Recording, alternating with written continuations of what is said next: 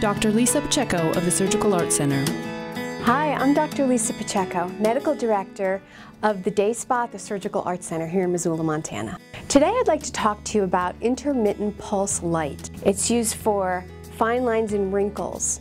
It works also for rosacea, which is redness or tiny little broken vessels on the skin. It deletes those as well. You can also use a different frequency of light with the intermittent pulse light for laser hair removal. And this is a very, very popular use of the intermittent pulse light. There are over a hundred different medical devices on the market today. The machine that we have at the Surgical Arts Center is state of the art. It has the highest density of light per area of any IPL machine, and it's the most effective on the market today. We'd love it if you'd call our office today to schedule your free consultation. This message has been brought to you by the Surgical Arts Center.